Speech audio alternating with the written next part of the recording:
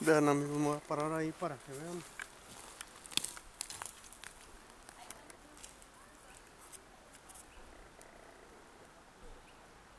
Está demasiado anchísimo, vean. Y lo del, al- de lo alto, miren.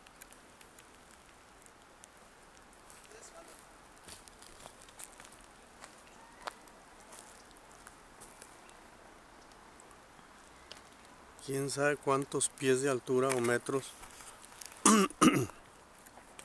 tendrán estos árboles, pero en realidad son gigantes. Aquí bien vale la pena venir y disfrutar. Se llama Sequoia National Park. Lo que sí hay muchas curvas, demasiadas curvas para poder llegar a, a este lugar, pero bien vale la pena. Y hay unos precipicios muy grandes. Vean, allá está otro arbolote de tiro grande igual. Este ha de tener aproximadamente, pienso yo, unos como unos 10, 16, como unos 13 pies de, de ancho, el tronco más, 16, no sé. Pues está ese, vean, está ese otro, allá está otro, aquí está este caído, vean.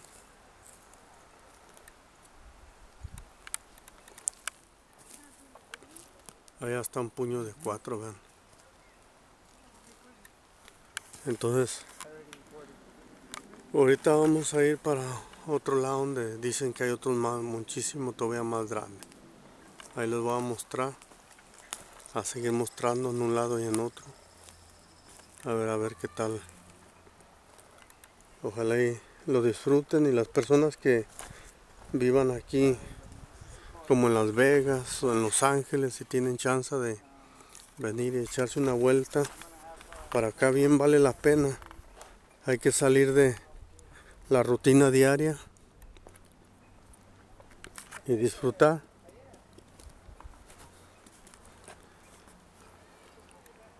Hacer algo diferente.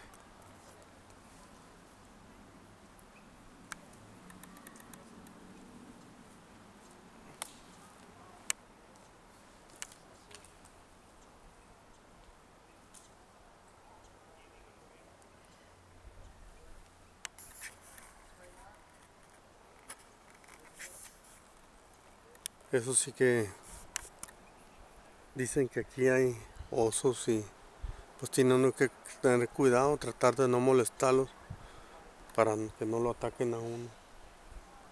Y